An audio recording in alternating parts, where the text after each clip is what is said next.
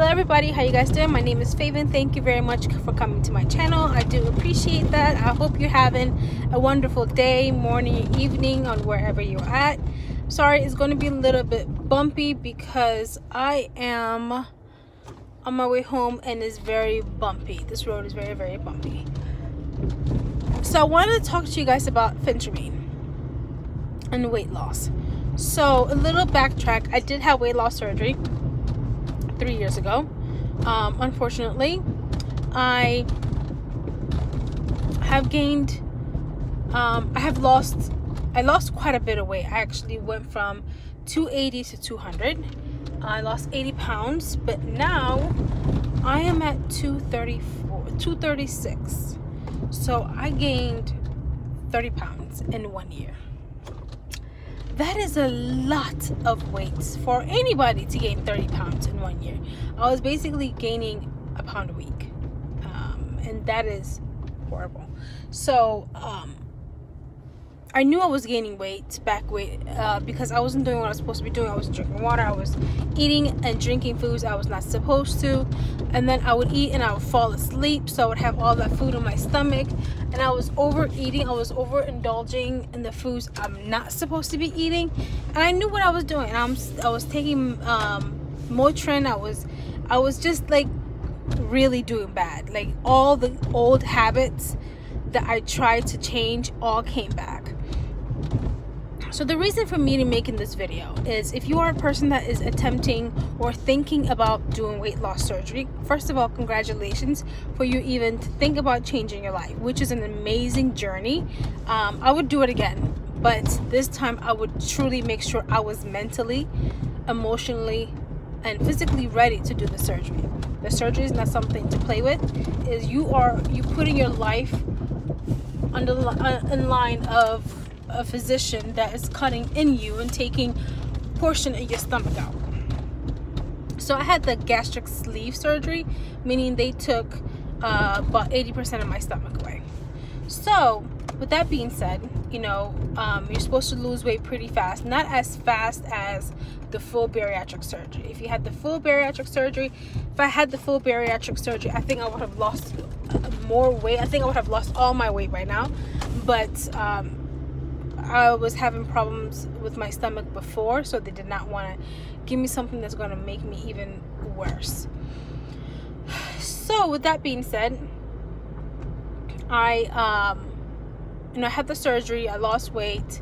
Um, three years later, uh, I my old habits. My I noticed my old habits creeping back um, last year. I noticed it. I noticed the old habits slowly coming back. When I get angry, frustrated, or whatever, I would go to um, eating unhealthy foods. I would go to eating snacks, and I would go to um, go to Dollar Tree and buy a box of candy or a box of donuts or whatever. And for breakfast, instead of having something that's very healthy like a boiled egg or something, I would eat something from McDonald's. And then I start like going to McDonald's more often and doing fast food, eating out, and eating whatever everyone else was eating, and not paying attention to what I was doing. And it was actually hurting me in the long run. But I, it's not that I didn't care. Um, you can tell it's the last day of school because there's school paperwork everywhere. Everywhere at this middle school. Um, so basically, my old habits came back not fully because i know because before i didn't care. Before i did not care if i was gaining weight or not. I did not care.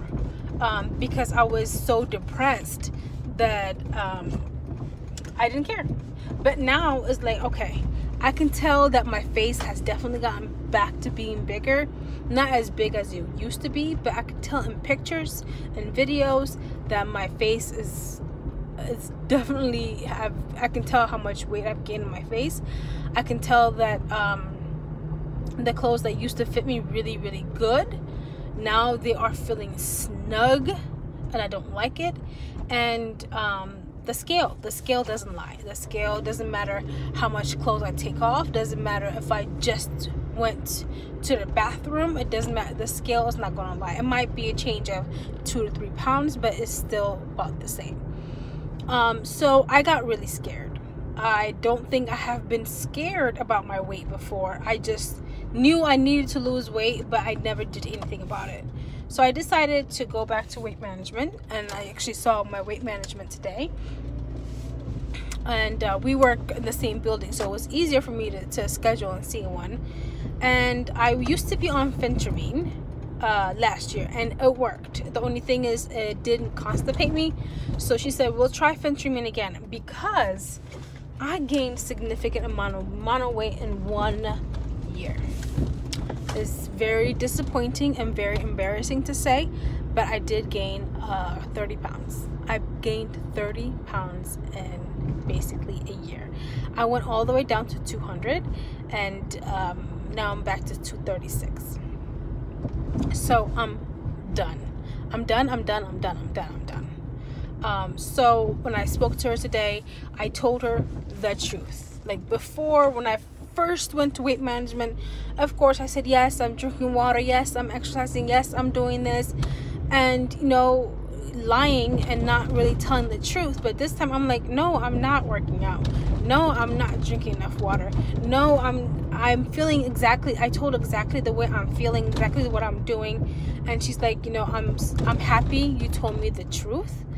Because she said if you if you tell me the truth it's easier for me to treat you and easier for me i'll be more willingly to give you phentermine because you told me the truth and she wants me to go back to food logging which I did food logging for like six six months before my surgery and I hated it because I noticed what I was eating how much I was eating of it and it just it made me feel horrible about myself. But it did make me make me be accountable of what I was eating and then I'm like okay I know I'm gonna have to write this down.